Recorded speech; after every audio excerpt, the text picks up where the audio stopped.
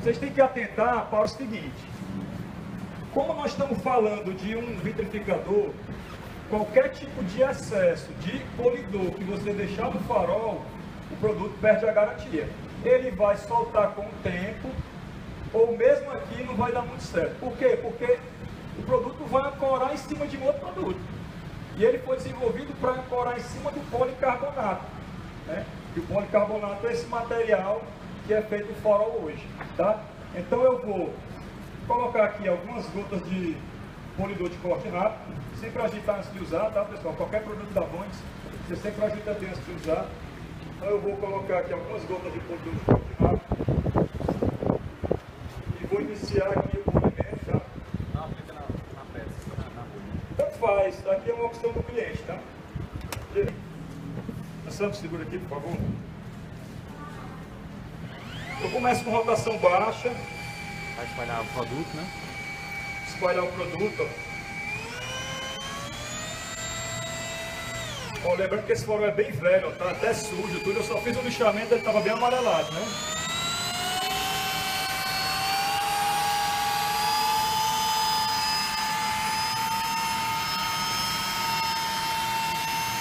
Segura, segura. Segura, segura o farol.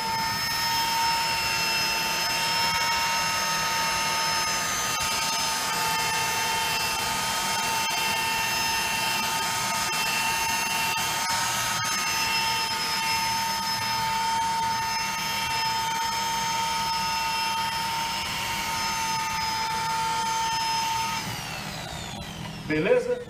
O farol já ficou bem, bem cristalino. Agora o que acontece, pessoal? É, Mostra aqui, Paulo. então, assim, isso aqui todo mundo consegue fazer, não consegue? Faz todo mundo? Mas por que então, Paulo, se todo mundo faz isso, por que, que tu lançou o V-Light? Né? Isso aqui só dura 4, 5 meses. O farol vai voltar pior, ele vai amarelar. Não adianta vocês venderem esse serviço aqui para o cliente. Você está enganando o teu cliente. Né? Tá lindo, maravilhoso. Mas eu não sei se vocês sabem, mas o farol quando ele vem de fábrica, ele vem com a proteção por sobre o policarbonato. E essa proteção ela dura 3, 4, 5 anos.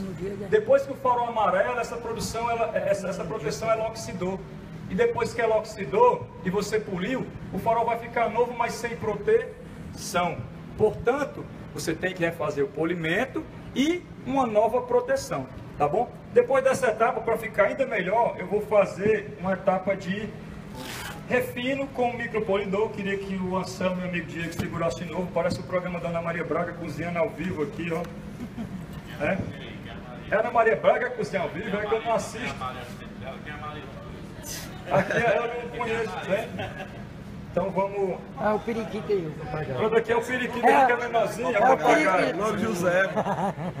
Ó pessoal, enquanto isso, enquanto eu vou mostrando aqui, eu queria que vocês pegassem essa. Vocês sabem que o V-Light ele vem com, ele vem na embalagem o aplicador, tá? O aplicador, vem a microfibra de suede e vem o V-Light, beleza? Então, enquanto eu vou demonstrando, eu queria que vocês passassem aqui de mão em mão, que essa microfibra ela tá dura, ela vitrificou. Por quê? Porque de propósito eu terminei de fazer o serviço e não lavei da forma correta, conforme eu sempre mostro. Então vocês poder, poderão perder caso não lave corretamente. Aí depois dizer, olha Paulo, eu usei o V- o V-Light aqui e agora eu só fiz uma aplicação, a microfibra não presta mais e tal. Então é bom que vocês saibam como é que ela fica logo. Pode ir passando de mão em mão, por favor, enquanto eu vou explicando. Ela vai endurecendo, tá? Pronto, pode passar nas duas para ir sentindo a diferença aí. Tá bom? Então vou fazer aqui a etapa de refino. Eu coloquei agora algumas gotinhas Aí de assim micropolidor. produto, né? Não precisa fazer lustro aqui. Duas etapas é suficiente. Por quê? Porque o restante do efeito do produto vai fazer a cobertura na peça. Caso fique algum risco, qualquer coisinha que ficou, o próprio V-Light ele vai cobrir, tá? Então eu vou fazer aqui.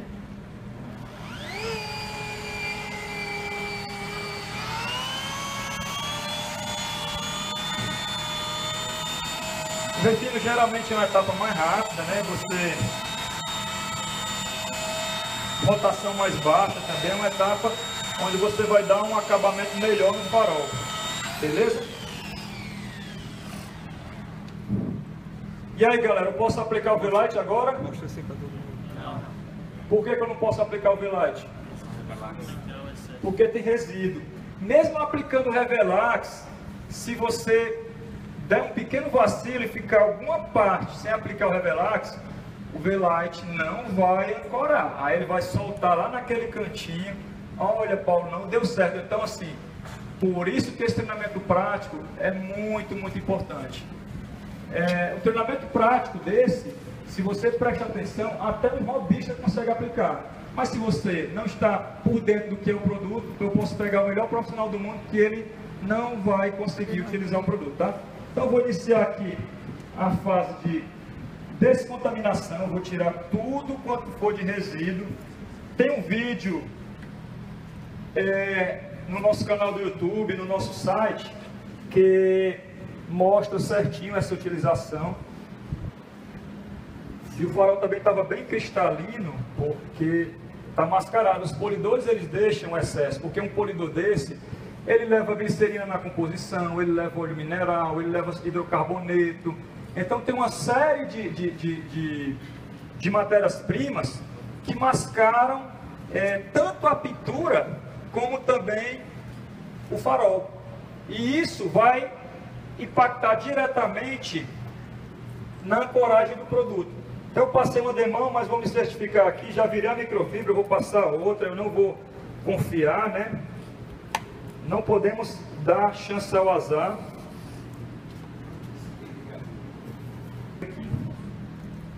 Eu vou me certificar que está tudo ok.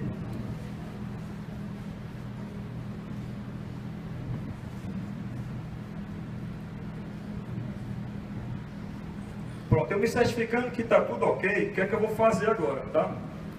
Eu pego aqui a microfibra de suede, coloco aqui no aplicador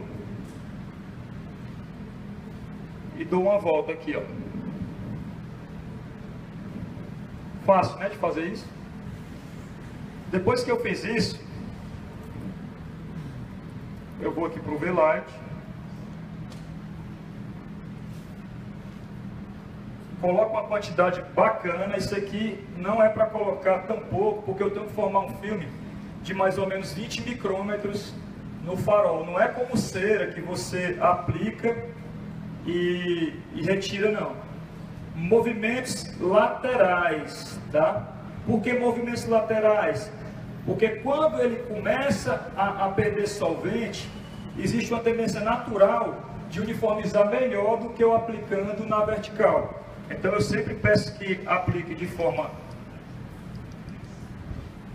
horizontal para eu ter deixar mais uniforme a superfície, certo? Se passa só na esponja, tem estrago do material. é isso? Oi? Se passa só com esponja, Só com esponja, o que é que vai acontecer? Boa pergunta, teu nome? Mailton. Mailton mal perguntou se só com esponja dá certo. Galera, não dá. Por quê? Porque não vai ficar uma transparência 100%. Vai ficar igual a pintura de carro com casca de laranja. O grande segredo dessa microfibra é ficar perfeito, como se você não percebesse que tivesse algo por cima. Porque isso aqui eu não aplico e removo. Eu aplico e deixo. Então deixa eu só ver como é que está aqui. Eu vou colocar. É, pega para mim Pegar o? Carro, lanterna. a lanterna aqui, que eu tenho celular, mas eu gosto mais da lanterna.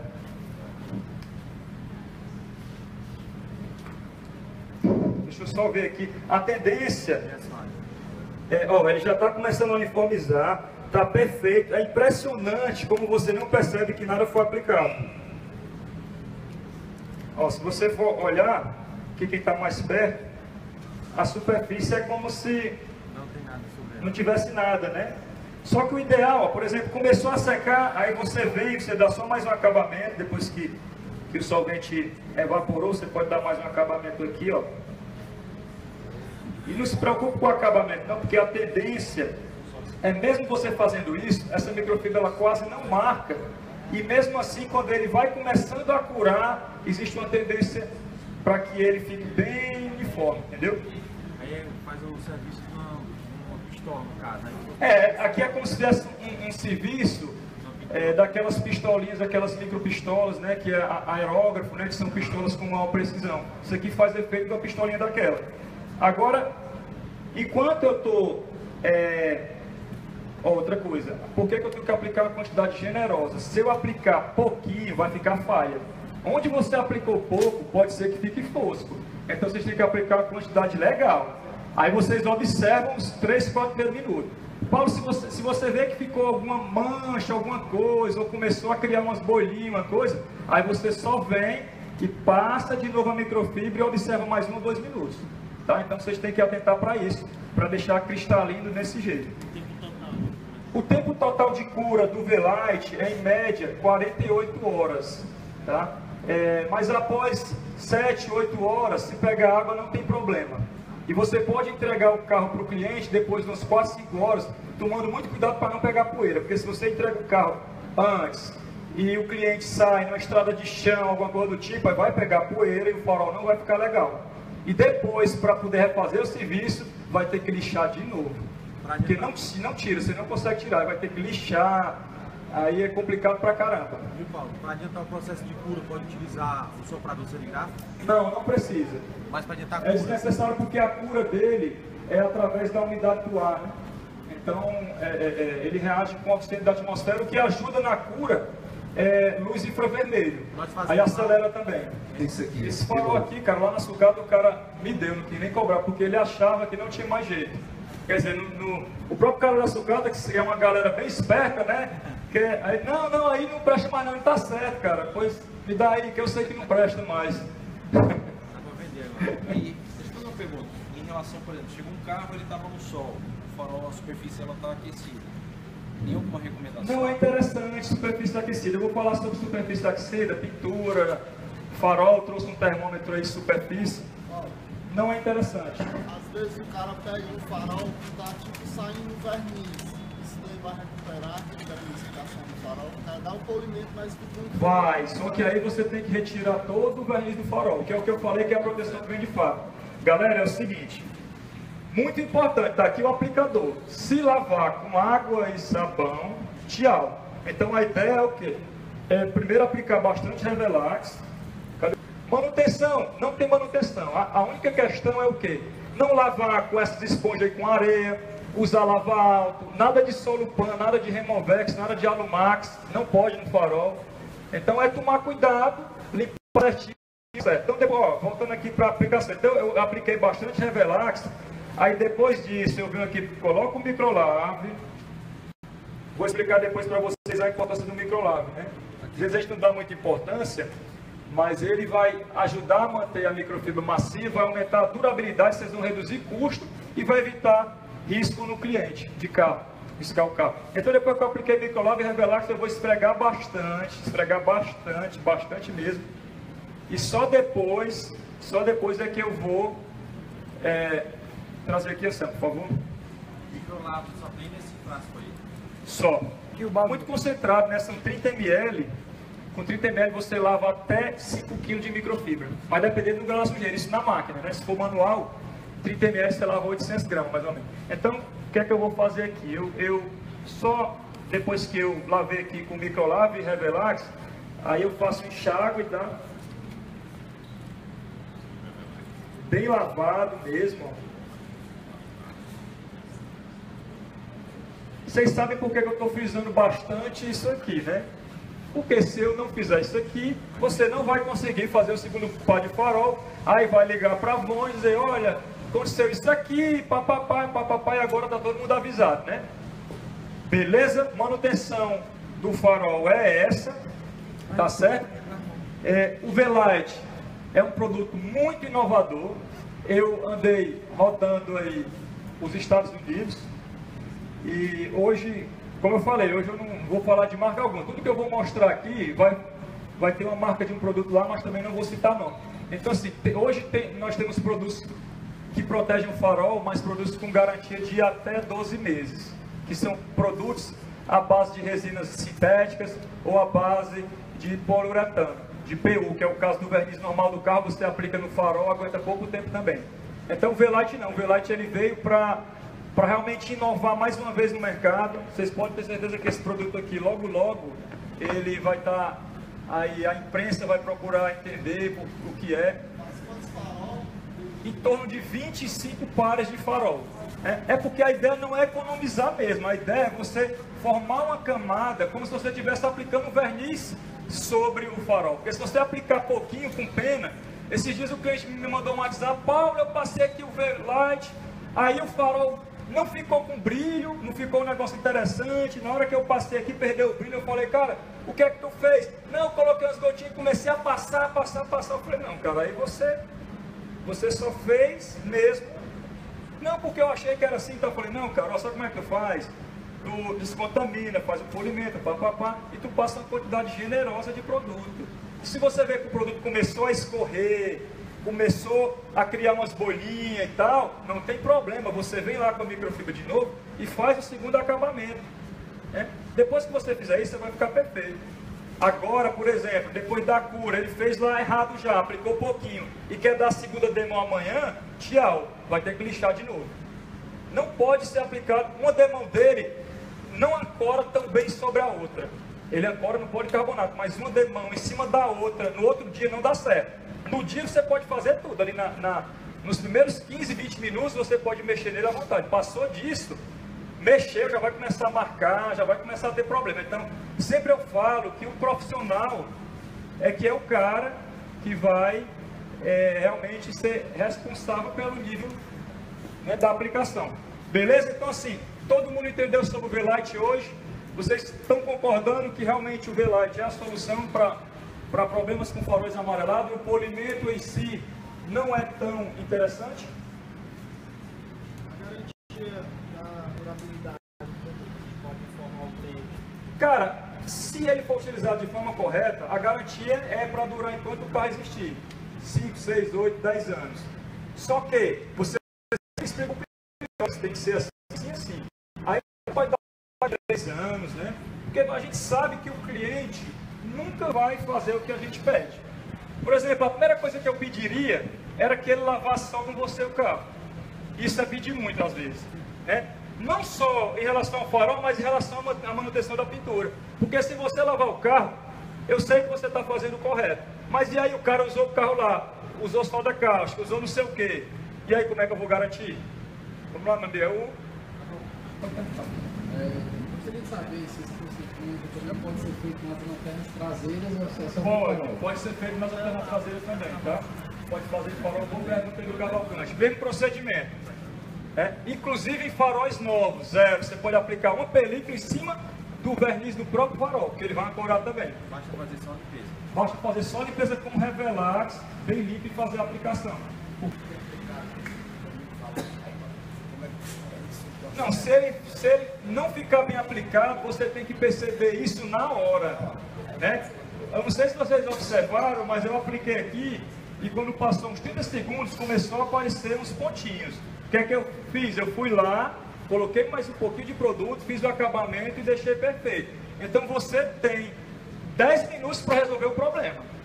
Só que depois desses 10 minutos vai ficar perfeito, não vai mais acontecer problema. O problema ele aparece na hora. Então depois que você fez isso, vai ficar show de bola e aí é desnecessário você dar uma outra demanda. Agora, se você fizer um serviço que não ficar legal e realmente quiser, no outro dia que você perceber, aí lixamento de novo, não tem jeito. Uhum. Ele não sai, você vai lavar, vai fazer o que for, ele não vai sair de jeito nenhum. Beleza? Mais alguma pergunta? É o seu nome? É de nada. É de nada. Tem alguns casos que você faz o polimento, mas às vezes você não, não tem o resultado esperado, pelo cliente. Aí eu já vi as pessoas dizendo que aquela mancha está por dentro do farol. Saber se isso realmente acontece é, ou se os problemas. Nós temos aí basicamente dois problemas no farol que não são resolvidos. O primeiro problema é quando a mancha ela é na parte de dentro da, da, da, da do próprio acrílico, do próprio policarbonato. Quando a mancha ela está na lente por trás, né, essa mancha você não tem como tirar. E o outro problema eu não, eu não sei se vocês já se depararam com isso, é que essa parte de cromo mesmo, ela poderá amarelar. Então o que acontece? Às vezes a lente está perfeita, a lente perfeita, coisa mais linda do mundo, você poliu, deixou perfeito, só que quando tu olha para o farol, tu está vendo que o farol continua amarelo. E esse amarelado, ele já não é da lente, e sim da parte cromada que começou a sofrer oxidação, já que o plástico que eles utilizam aqui é o plástico chamado ABS, e esse cromo ele começa com o tempo o plástico oxidar e ficar com meia feia, ou então às vezes entrou uma certa poeira, porque o farol, por exemplo, quando você utiliza que quebrou por aqui e tal, começa a entrar poeira, aí ele começa a ficar meio a, a, a tonalidade morta e é por dentro. Então isso já são processos é, que você tem que ter noção de explicar para o cliente, olha, é, eu estou vendo que o teu farol tem um problema aqui, a gente vai tentar fazer perfeito, então cabe a você saber explicar. Não existe nada milagroso, pessoal. Existem produtos inovadores, existem é, é, é, realmente produtos fantásticos, profissionais fantásticos, mas que não existe ainda milagre, né? O diagnóstico Então- mesmo é só quando você faz o. Spot test chamado.